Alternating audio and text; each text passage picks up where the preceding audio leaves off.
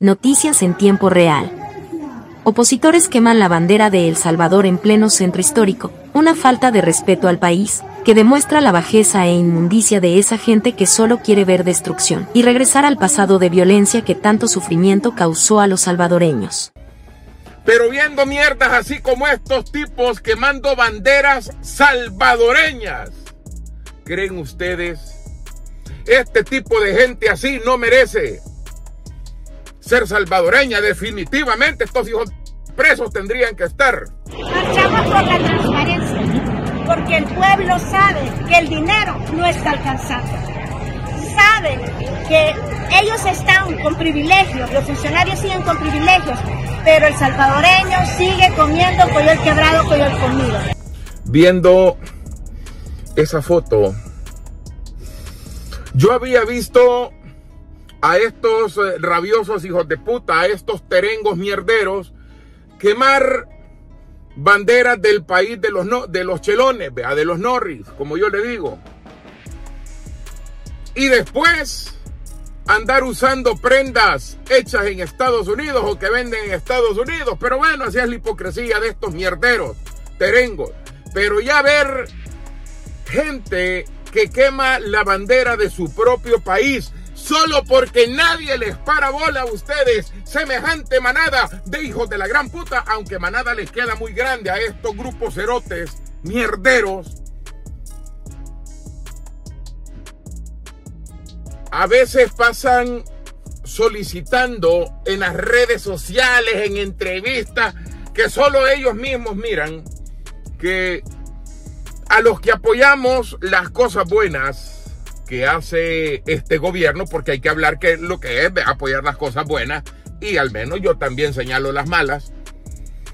Pero viendo mierdas así como estos tipos quemando banderas salvadoreñas, ¿creen ustedes, creen ustedes que estos hijos de puta no se merecen que uno les diga que se harten 77 mil diluvios de mierda y con cuchara de nucita para que les abunde?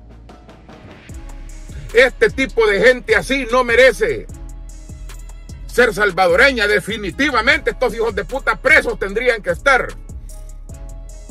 Yo he escuchado que en México, pero ni los artistas pueden utilizar los símbolos patrios, mucho menos quemar una bandera mexicana. Eso es lo que yo he escuchado.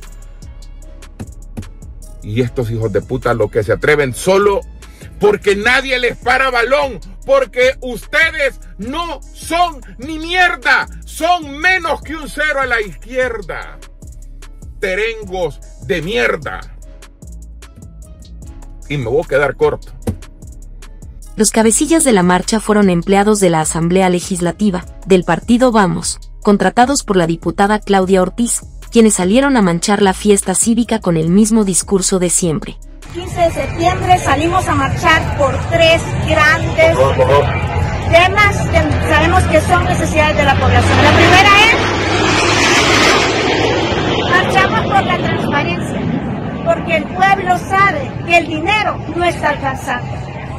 Saben que ellos están con privilegios, los funcionarios siguen con privilegios, pero el salvadoreño sigue comiendo el quebrado, el comido. Necesitamos transparencia de parte de los funcionarios. Marchamos por transparencia, marchamos por justicia. Justicia por todos los inocentes capturados durante el régimen de excepción. Esas personas, esas más de 300 personas que han muerto, sus familias necesitan justicia. Justicia por los desaparecidos. Justicia para los defensores de derechos humanos, los sindicalistas, todo aquel que está siendo censurado, todo aquel que tiene miedo. Marchamos por justicia en El Salvador y marchamos por una vida digna. Una vida digna para los salvadoreños, en donde tenga que comer, en donde tenga acceso al agua, en donde tenga acceso a la educación, a la salud y a una vivienda digna. Por supuesto que sí, vamos por la libertad, queremos ser un pueblo libre. Ahora somos un pueblo sometido, militarizado a una dictadura militar dura que tenemos acá. La fórmula para la conquista, pues será eh, unirnos, unirnos, todos los opositores juntos, en un mismo huacal todos. Ahora se conmemora 203 años de, de la continuación de la independencia. Estamos en lucha por la independencia. Aquí no hay conmemoración alguna. La lucha sigue por el derecho de nuestros pueblos indígenas, por el derecho de nuestras mujeres, de los niños a una buena educación, por la salud, por la libertad. Continúa por la democracia.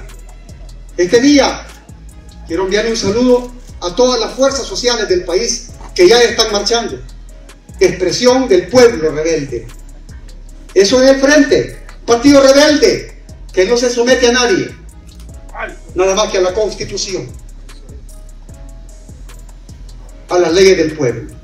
Las organizaciones sociales y liderazgos y movimientos populares por presas y presos políticos, como sindicalistas, como líderes de la Alianza Nacional El Salvador en Paz.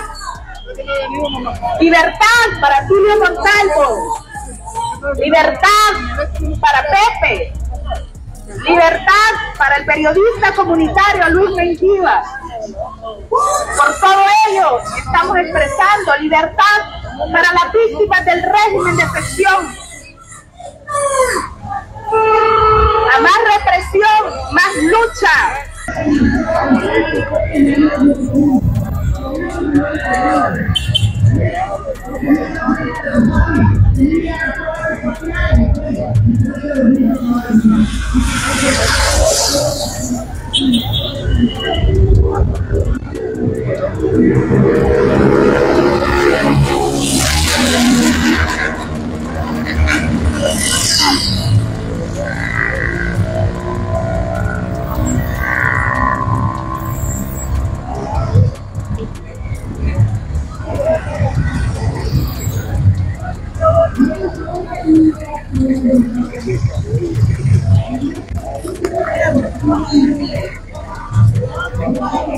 Desde el bloque de resistencia y Energía Popular estamos, marchando, porque creemos que este 203 aniversario de independencia es un símbolo de resistencia, de libertad y de dignidad para el pueblo, porque este gobierno si esto fuera estos poco, años de en este régimen años fascista, una agenda en la canasta pueblo, básica de cada una de las familias salvadoreñas por el aumento al salario no es un secreto, de nadie lo ignora, que tenemos hoy por hoy la canasta más cara para mujeres, de América para la Latina y el Caribe. para la diversidad, Ya no estamos consumiendo los derechos. la cantidad de productos la que deberían consumir de los presos según políticos, las la reglas libertad de la canasta básica. De personas Según la regla de la canasta básica, cada familia salvadoreña tendría que estar consumiendo alto a la 23 persecución productos. política. Por eso marchamos.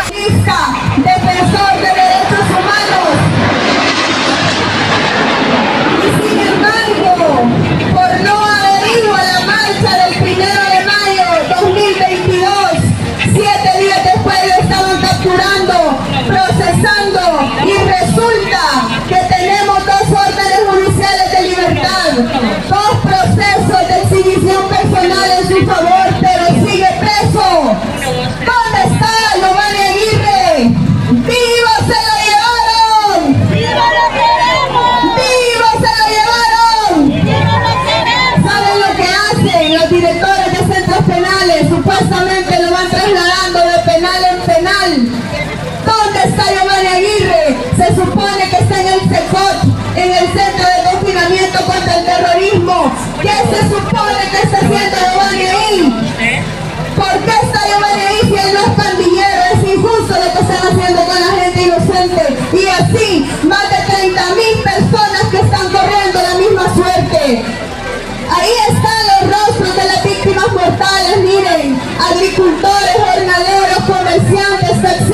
sindicalistas, jóvenes estudiantes,